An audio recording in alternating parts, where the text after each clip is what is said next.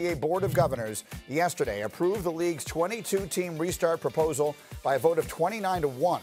The season is now tentatively scheduled to resume July 31st at Disney's Wide World of Sports in Orlando. The Blazers were the only team to vote against the proposal. And so, with the season approved to restart, take a look at some key dates here. Games are scheduled to begin on July 31st. The last possible date of the season would be October 12th. That would be game seven of the NBA Finals. That's a Monday.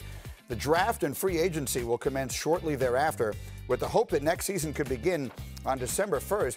And interestingly, we were talking with Adrian Wojnarowski a little bit earlier, and he was telling us that Michelle Roberts, who is the executive director of the NBA Players Association, was expressing concern about what would appear to be a very short turnaround between the end of this season. Again, the teams that make the finals could be playing into October, and then a training camp that were to begin in November and a season that could begin as early as December 1st. So that's something that will have to be ironed out.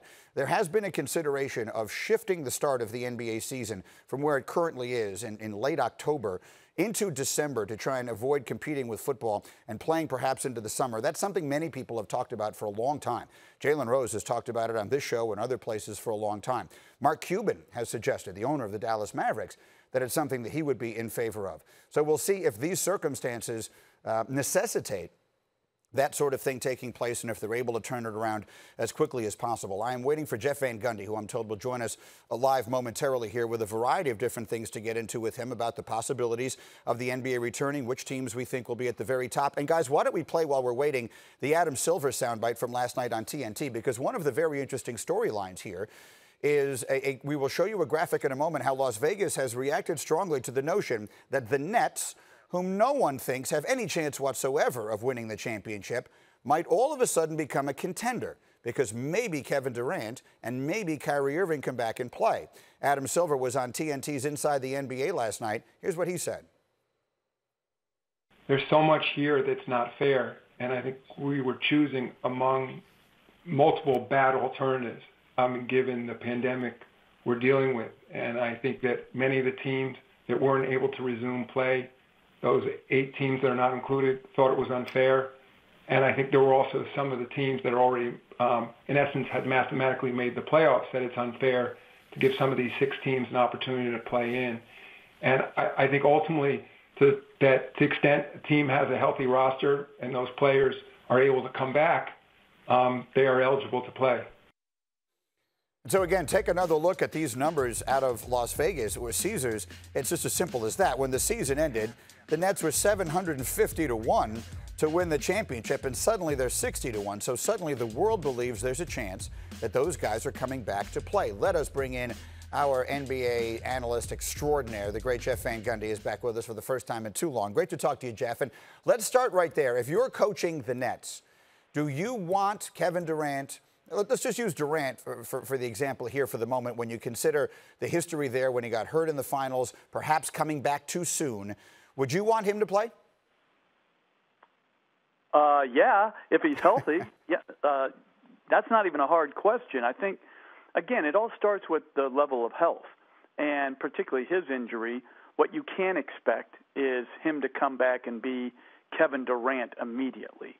But if healthy and the and the doctors clear him and he feels good about uh, his chance to be successful um, and play well, certainly. And I, I don't think it's even a downside if healthy uh, for the next season. I think it breaks through some mental barriers and gets him a better start going into next year as well. You could manage it, of course, any way you want to when he comes back. They're going to play eight games in 16 days. There will be back to backs at least once, I'm told, for every team in there. You wouldn't have to play him in that if you didn't want to. I, I, I guess then the question I would ask you is if Kevin Durant comes back and is the Kevin Durant that we have been accustomed to, what are the Nets capable of in an Eastern Conference playoff scenario? Well, if Kevin Durant is back and he's he's the old Kevin Durant. I mean, they can beat anybody. I mean, he's that good. He's that big a difference maker. We all know that. We've seen it. We've seen his ability to absolutely dominate games. But I think that would be a stretch.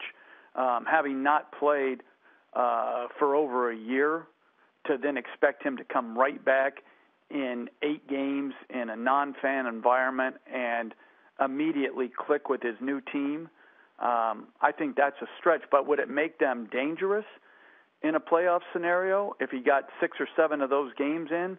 Absolutely. They have a good team to begin with. And with Durant, they have a chance to be a great team. Now, let me just throw it over to the Western Conference side of that because Portland, I, I, think, was actually the genesis of the question last night. I wasn't watching the interview when it happened, but Portland is a team that was ravaged by injury this year that could be getting back Nurkic and could be getting back Collins. And if they can find a way to get into the playoffs, they are currently outside of the eight teams in the West. But if they found a way to get in, that's a team that made a deep run last year. How dangerous is Portland if they're all healthy?